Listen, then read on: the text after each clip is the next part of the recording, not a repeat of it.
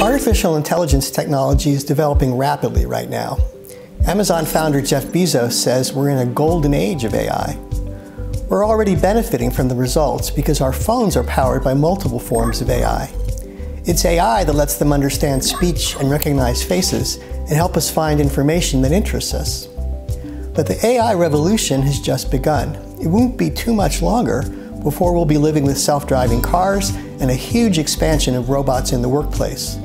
Our children's lives and career choices will be very different than our own. AI education has become vitally important because people need to understand this technology that's reshaping their lives.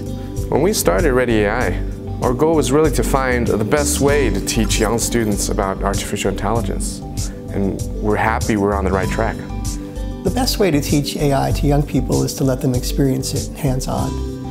You get some of that with a cell phone, and you can teach people about the kinds of AI that are present in their cell phone.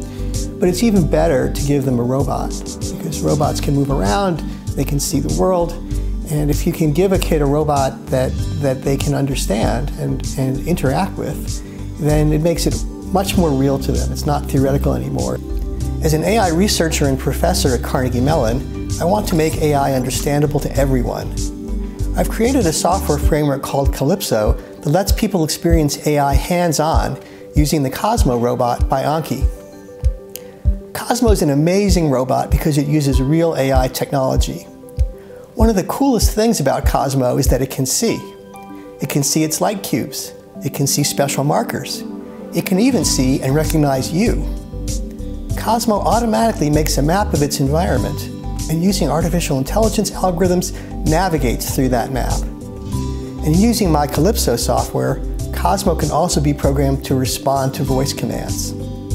Think of Cozmo as a self-driving car that talks to you and fits in the palm of your hand. This is a great way to experience AI. Excited? You don't have to be a die-hard Cozmo fan to participate. We're hosting a competition this summer. World Artificial Intelligence Competition for Youth. We call it WAICY. This year it's going to happen right on Carnegie Mellon University campus on July 28th. WAICY is open to students of all ages. You'll be divided into four divisions based on your grade. You're encouraged to form teams to participate. You have one simple task.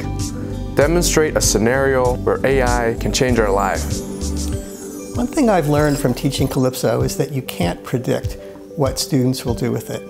So I'm expecting to be surprised and amazed by what the students in the competition come up with, and I, I can't wait to see it.